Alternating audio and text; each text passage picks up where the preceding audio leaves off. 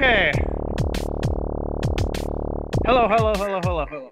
Let's begin. Uh, what you're looking at is a Python bot that is playing Diablo for me. So you can see I'm not touching any of the keys, and the robot is playing Diablo for me. So I just show this to show you that if there's any doubters, I don't think there would be, but if there's any doubters about like what what how much more you can accomplish if you know how to code and even if you just know very minimally a little bit of Python and a little bit of Linux and a little bit of this and that, you can do a lot of stuff. And there's so much open source software out there that if you just know a little bit of how to install things, a little bit of how to run main files, you can do a lot of really cool stuff. Okay. So I just show this as an example um, of kind of like the power of coding. I can I don't even have to play video games anymore. I just watch my robot play video games for me. okay. Uh, let me stop this now. What I kind of want to do is I I want to do an interactive coding. And I, I, I want to try to keep it as simple as possible, but yet I want to do something that you can see the immediate practicality of it. It might be simple, but you can see the immediate usage of it. And if you understand how to do that, then you could maybe be inspired to do more complicated things. So, what I would suggest is the first thing, if you are actually interested in like following along, um, you want to make sure that Python is installed on your computer. So one thing you should do, you should go to Google and you should search Miniconda installation. Um, and this should be a package you can just download here. Here, you can just download it for Windows. Just download this install it. Miniconda is essentially just kind of like a command line thing that you can use for Python. That's what I'm using. So in the in the coding class, we talked about what are called IDEs. I think they were intellectual development environments. Those are much more complicated sort of programs you can install and you can use those. But I kind of like the idea of just writing actually code in like a text editor and then running the code. So if you download this Miniconda 3 for your Windows or for your Mac or for your Linux, you should be able to follow along. It shouldn't take that long. So start with that. And that will give you the minimal requirements to be able to start running some code. Okay. Okay, so let's try to write something. And then we will try to run. And if you're following along on video, feel free to pause the recording whenever you whenever you want. So what I want to try to do is I want to try to write the reverse complement algorithm we use every day. So when we're teaching and when we're talking about oligos or DNA sequences, we're always going to this reverse complement website and we're typing in our sequence and then we're hitting submit and it's giving us this reverse complement.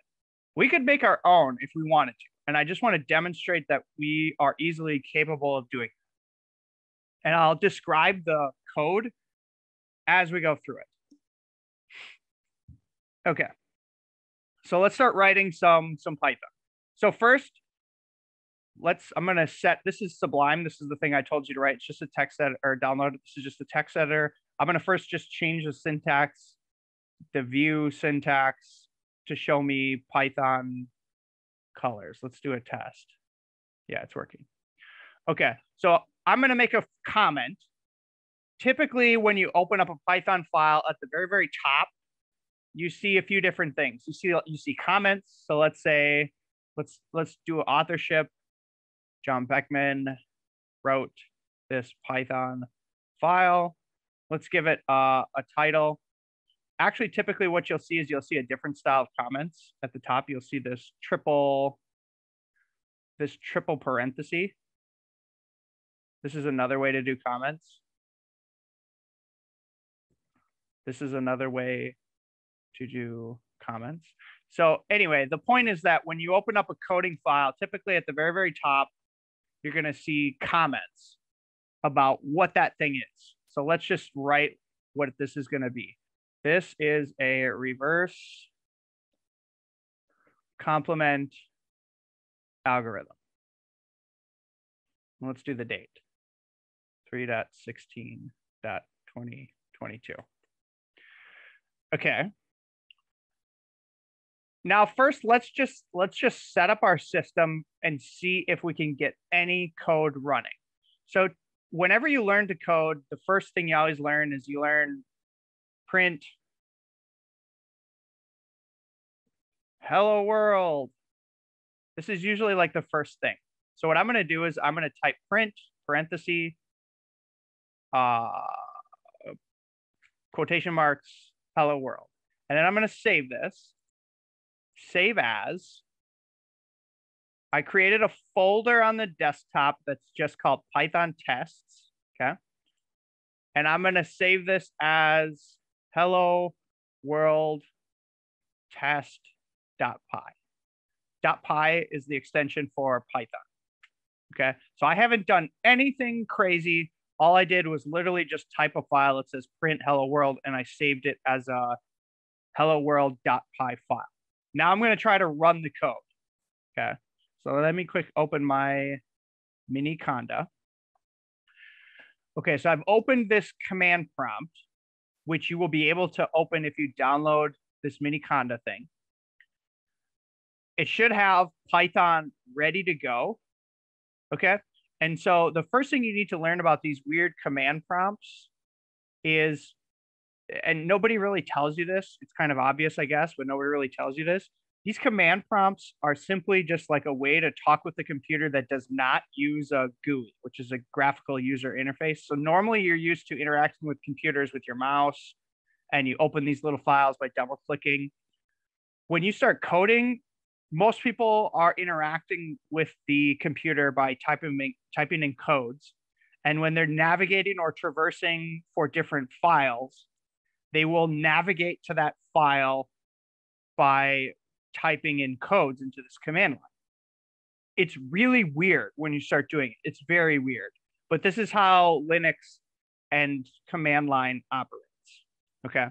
So the first thing I do want to do is if I want to run this file that I just created, this hello world, if I want to run that, the first thing I have to do is I have to navigate to the folder that has it.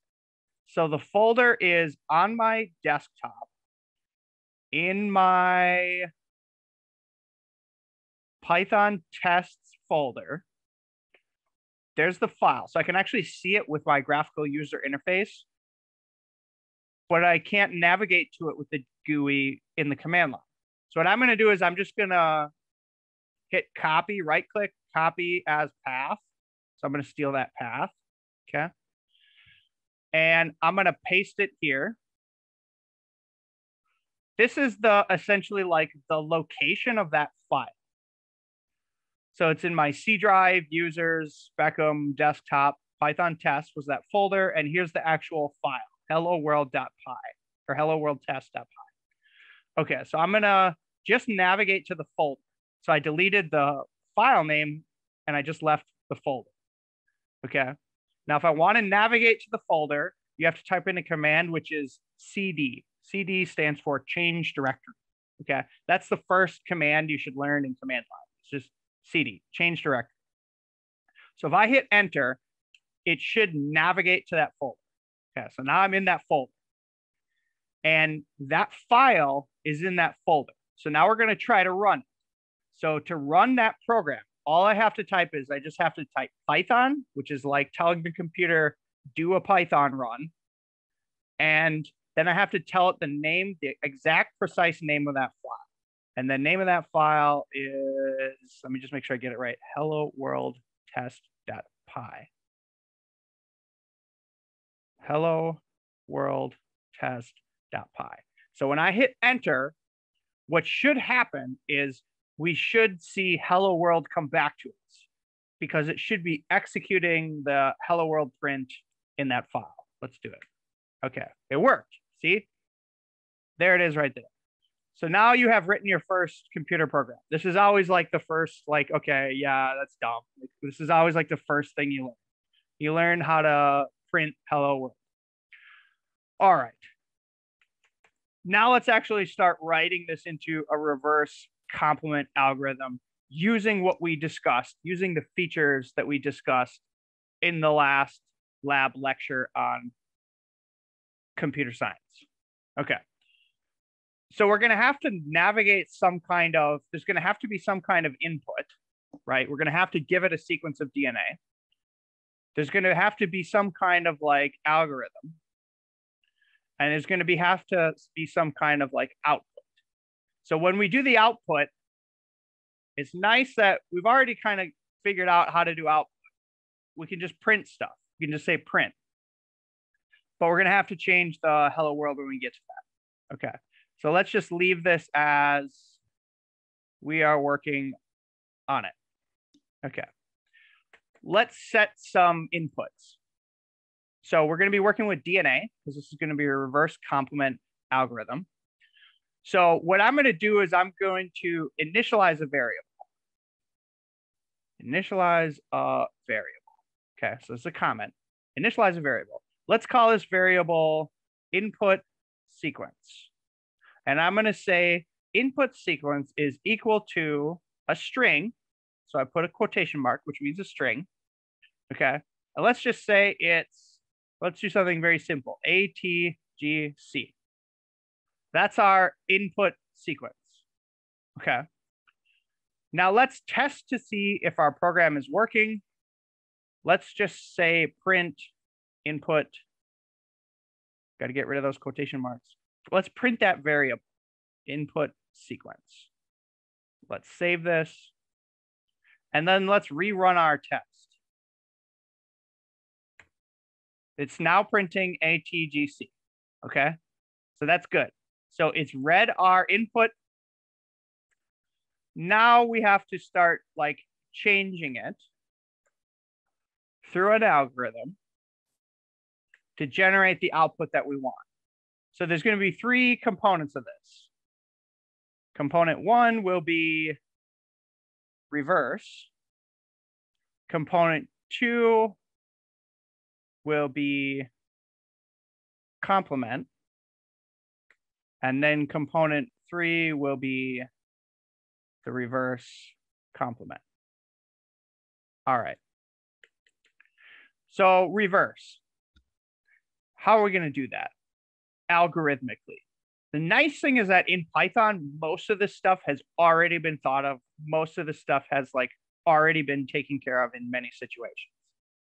So I guarantee you there's already like a reverse algorithm for strings in Python. And so remember what I said in the last lecture, which is like computer science is a lot of Googling syntax. Okay. So I'm going to show you like what I would do. I think I know what it is, but I'm just going to show you what you would do if you were in my situation where you did not know. You would say how to reverse a string in Python syntax. Let's see what it tells us. Um,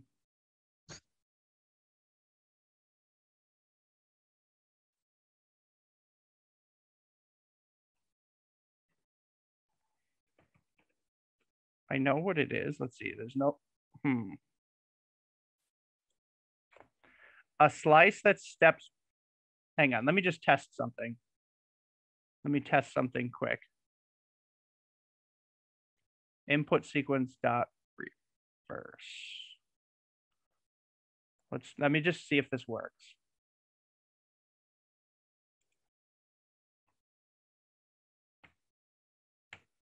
Yeah, it did not. Okay, so they're correct. So we can't just type like dot reverse, although sometimes you can. This is why I said I would never code in front of people. it's a lot of Googling. Um, okay, so now we have to like try to like read the syntax and figure out how to understand it. So they're saying they're doing exactly what we were doing. They're taking a variable, they're setting it equal to something. Okay. And then they are giving this little extra command that's saying, read it in reverse. Okay. So this is essentially a syntax that's going to tell it to read it backwards. Let's see if we can use this to adjust our Python sequence.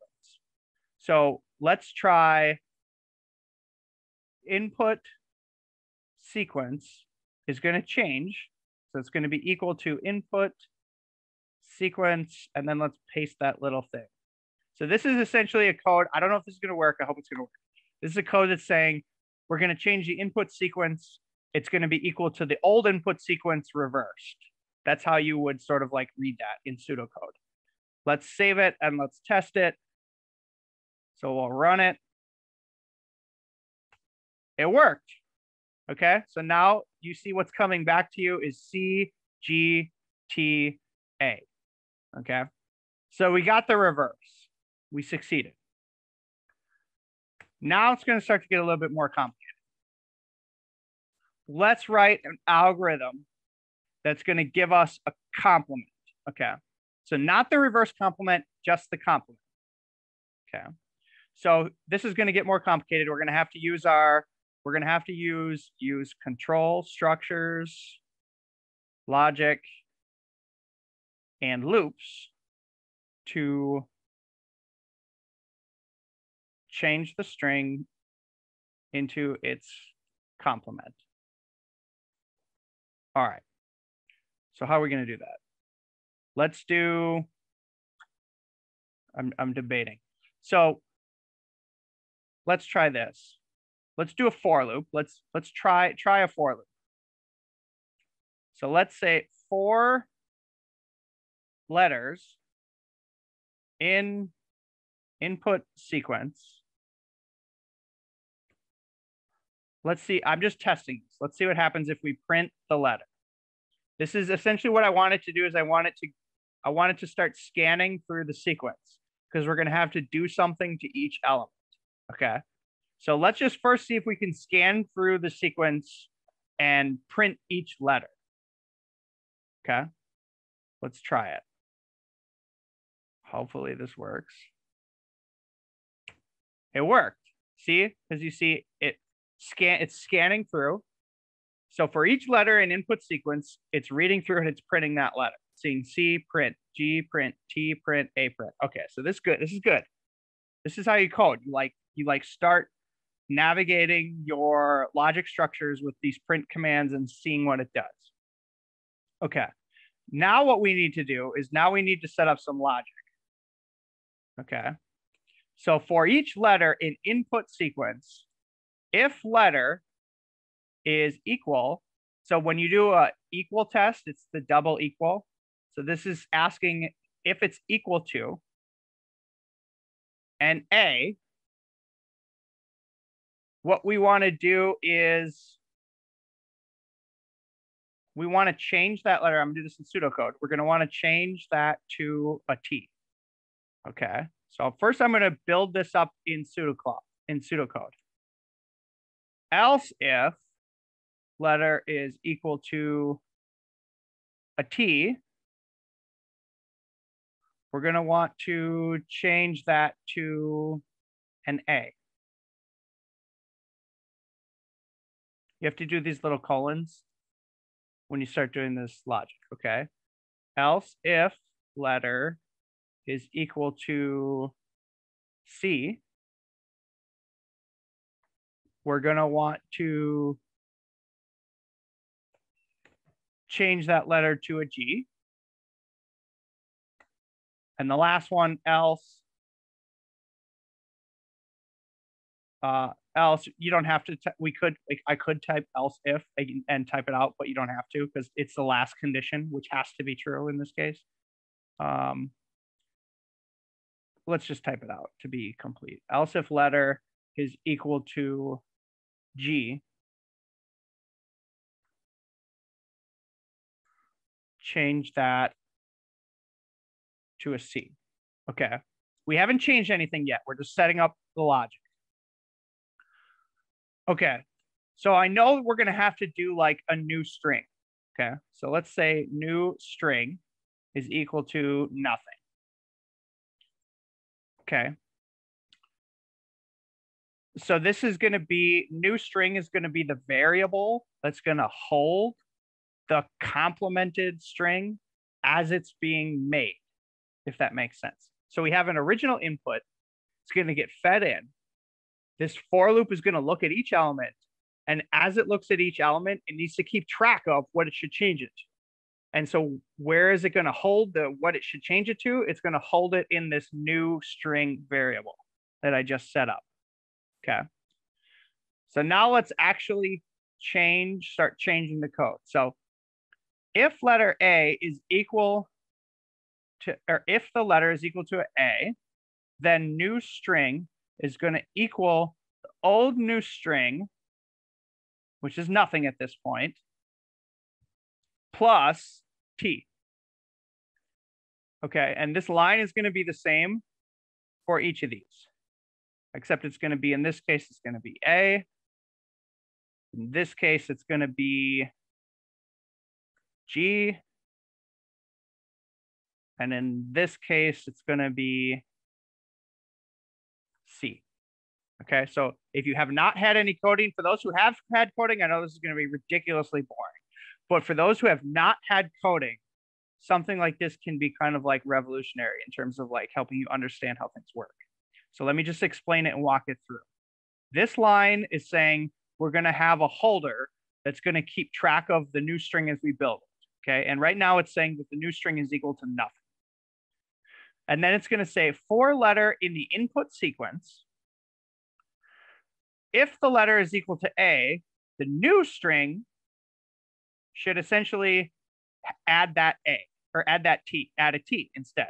Okay. Ditto all the way down the line. And then let's test it. Let's do at the very end, let's do print new string. Okay. And actually, as I print, I'm also going to print this was the old string. This was the input. I should say input. This was the input. Okay, let's save it. Let's try to run it. Let's see if it works. See if our dominant algorithm works. It worked. So, so look, it's saying this was the input string, CGTA, and look above it, it printed the exact complement which is G C A T. So it worked. It works. Good. Okay. Now we need to do reverse complement. Okay. So reverse complement will essentially be we need to take that new string and do that code where it reverses it. Okay. So let's instead do print new string in the reverse. Wait, will this work? Let's see if this works.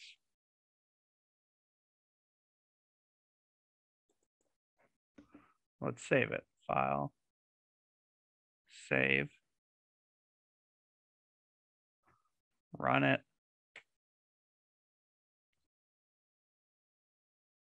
this was the input string. There, this is the reverse, and it's reversed complement. So it worked. Okay, it worked. This is the reverse complement. So now let's make it nice. Like, let's make it nice. Um, now we're like putting on like bells and whistles. It works. Let's do Let's define this as a method. So remember in the last lecture, I talked about there are classes and classes have methods. And imagine we wanted to put this code as something larger. We would want to organize it as a method. Okay, so let's do that. Let's organize it as a method. In Python, if you want to define a method, you say define so it, it'll, it'll kind of like tell you, Sublime will kind of like tell you, we're going to define a method. So we're going to define a method and it's going to be called reverse complement. Okay. And remember when I described methods, I described that methods have parameters. Okay. And parameters are the inputs. Okay. So in this case, you have to tell the method what should be the input. Okay. So there should be a space where we can input the sequence within the method. Okay. Now we're starting to get into more detailed syntax. I don't want you to get bogged down in the syntax, but I have to tab these underneath the method so that what we just wrote becomes a part of this method. Okay. Um,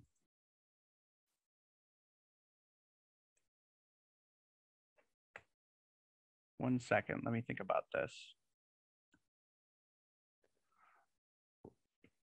Holder is equal to input sequence. Okay, so let me explain what I'm writing.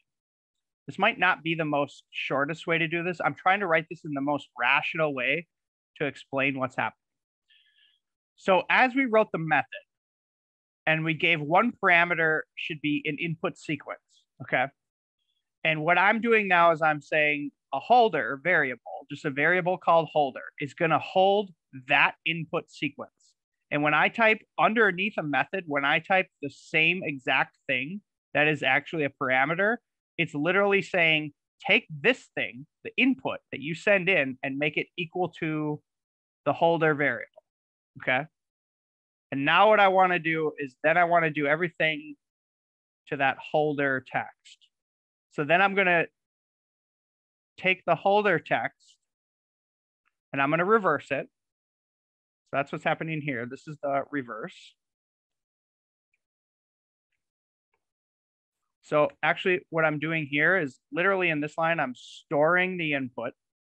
In this function, I am reversing it. And then I need to take the reverse complement, which we wrote this nice algorithm for. So we're still going to use the new string. And the only thing I have to do is change this. In this case, we're looking now at holder because that's what we defined it as. So now it's scanning through this holder. And now, now instead of print, remember what I said about algorithms have an input, a termination, and an output. Okay, so we need to do what's called a return. So instead of printing this, I'm going to do return. And the return is means like when you call this method, do the function and then send this back to me. Okay. Now let's test it. Okay. So our method is now written. It's got an input, it's got an algorithm, and it's got an output, which is this return function. I can actually add that comment.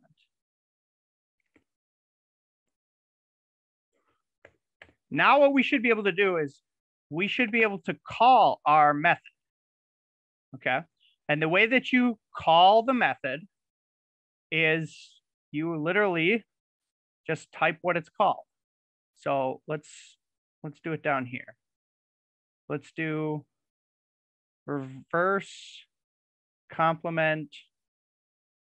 Let's do the reverse comp. Let's do some tests. Let's do ATG. So let's say test one is equal to ATG.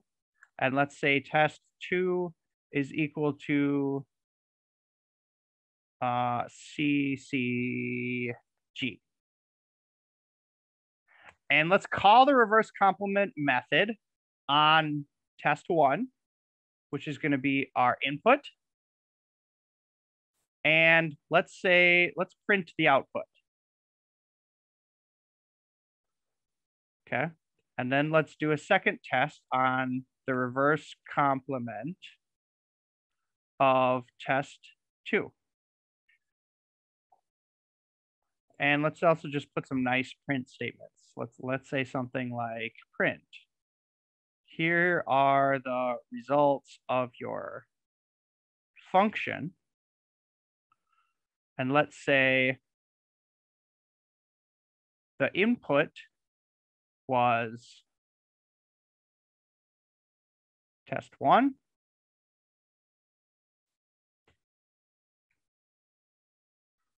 The second input was test two. All right, let's try this.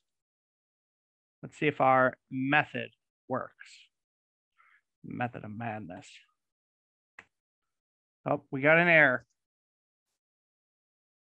So whenever you get an error in coding, very common, it should like tell you. The errors sometimes like tell you invalid syntax.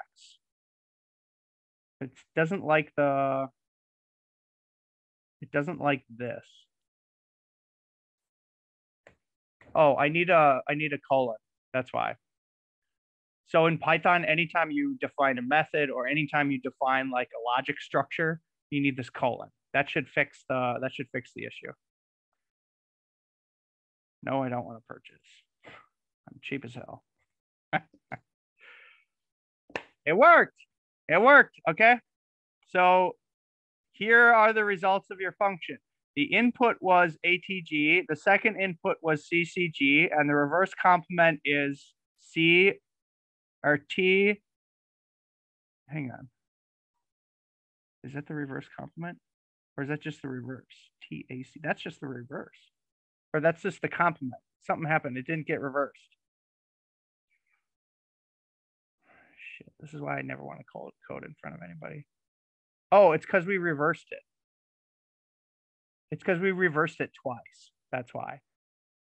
So here we reversed it once and then we reversed it again, which was stupid. Because the reverse of the reverse is the normal. So we should be able to fix it by just deleting one of those reverses. Let's try it again. Have I redeemed myself? Yes, CAT. That is the reverse complement of ATG. And this is the reverse complement of that. We did it. Okay. So, so this is uh, a method. And now you kind of can see under the nuts and bolts of this is literally, literally something as simple as this.